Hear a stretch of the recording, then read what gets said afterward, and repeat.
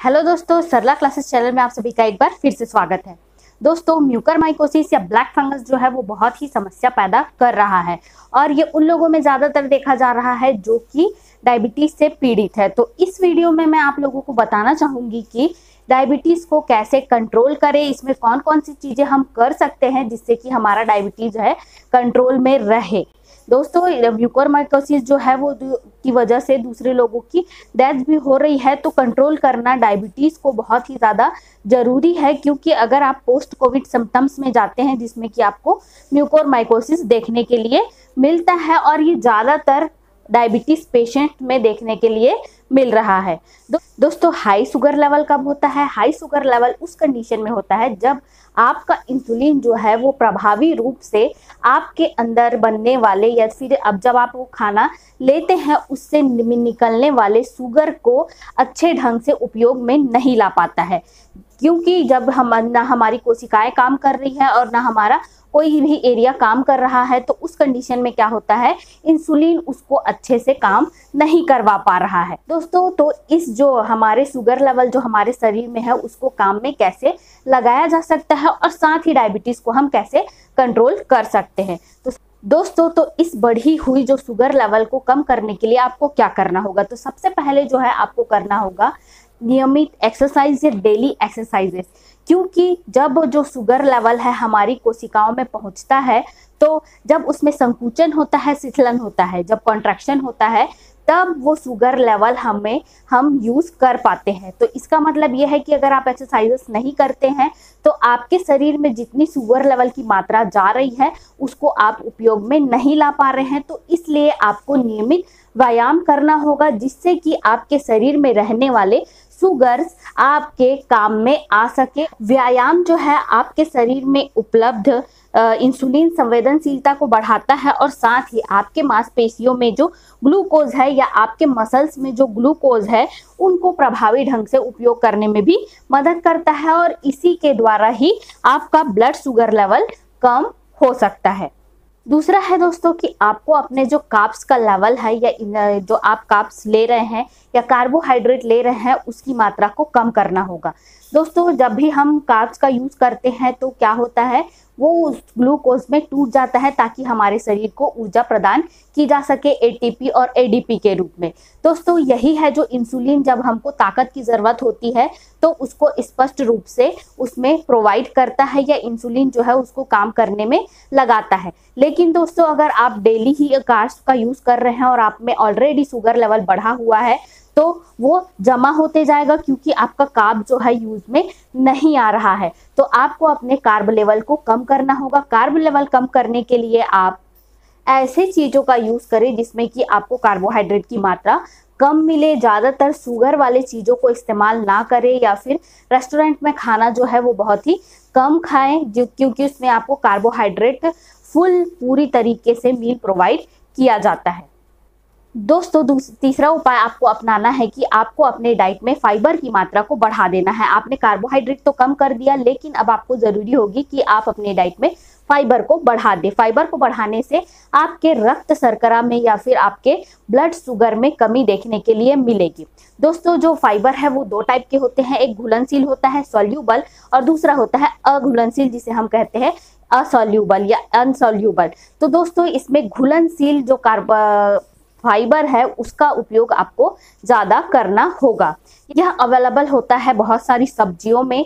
फल में आपको देखना होगा कि कौन सी जो सब्ज़ियाँ और फल है, उसमें बहुत सारे फाइबर की मात्रा पाई जाती है और साथ ही फलियाँ जो कि जैसे कि बीन्स है, उनमें बहुत है, उनमें बहुत मात्रा में फाइबर प्रेजेंट होता है और साथ ही साबुत अनाज। इसमें भी बहुत सारे तरीके के जो, इसमें भी आपके घुलनशील तरीके के फाइबर मौजूद होते हैं तो आप इन सभी का सेवन कर सकते हैं। चौथा है दोस्तों, बहुत सारा पानी पिए और अपने आप को कभी भी डिहाइड्रेटेड रहने ना दे।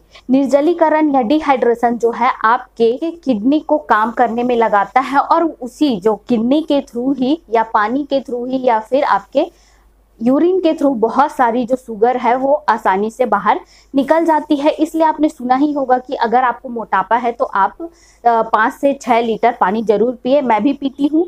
आपको भी पीना चाहिए। नेक्स्ट है दोस्तों कि आपको अपने प्लेट का जो भाग है या पार्ट है, उसको कंट्रोल करना होगा। इसका मतलब क्या है दोस्तों कि आप अपने जो कार्बोहाइड्रेट ले रहे हैं या फाइबर ले रहे हैं या कुछ भी ले रहे हैं, उसकी एक मात्रा निर्धारित करें कि आपको कितनी मात्रा में लेना है। ऐसा नहीं है कि बचा हुआ है तो लेते जाए। उसमें आपको एक कटोरी या फिर एक चपाती इस तरीके से आपको अपना जो भाग है या पार्ट है, उसको निर्धारित करना होगा, जिससे कि आपको उस संतुलित मात्रा में आहार मिल सके, जिस मात्रा में आपको ज़रूरत है। इसके लिए आपको अपने डाइट कंसल्टेंट से कंसल्ट करना होगा, जिससे कि आपको एक मेन्यू प्लानिंग या डाइट प्लान आपको प्रोवाइड किया जाएगा।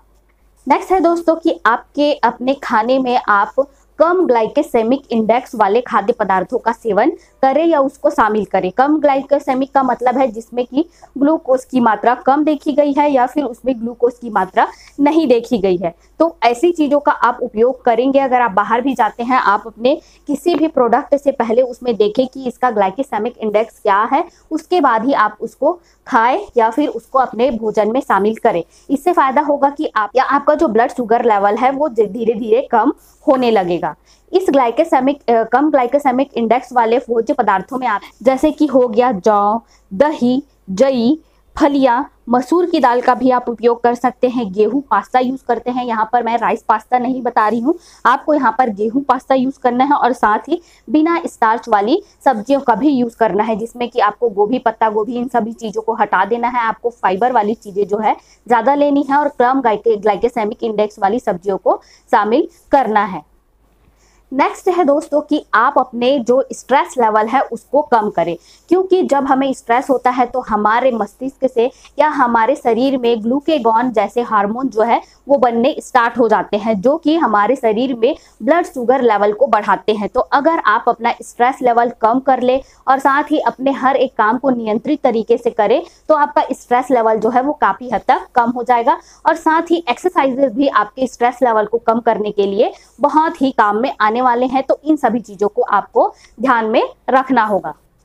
दोस्तों, साथ ही समय समय पर आपको अपने ब्लड शुगर लेवल को या फिर आपके शुगर लेवल को चेक करना होगा। क्योंकि दोस्तों, जो मापा जा सकता है, उसी को हम प्रतिबंधित कर सकते हैं या फिर उसको कम कर सकते हैं। जब हमें पता ही नहीं होगा कि हमारा ब्लड शुगर लेवल बढ़ा हुआ है तो क्या हम उसके लिए कुछ करेंगे, नहीं करेंगे ना, या फिर हमारा वज़न बढ़ा हुआ है तो हमें, हम, मुझे पता है तो मैं उसके लिए काम कर रही हूँ। तो आपको भी वैसा ही करना होगा कि आपको अपने ब्लड शुगर लेवल को हमेशा चेक करते रहना होगा। अगर आप चेक करेंगे तो आप उसको कंट्रोल में भी रख सकते हैं। अगर बढ़ा हुआ है तो आप उसके लिए मेडिसिन लेंगे, या फिर ऐसी कुछ योजनाएँ बनाएँगे, जो मैं आप लोग को बताते आ रही हूँ, जिससे कि आपका ब्लड शुगर लेवल या शुगर लेवल कंट्रोल हो जाए।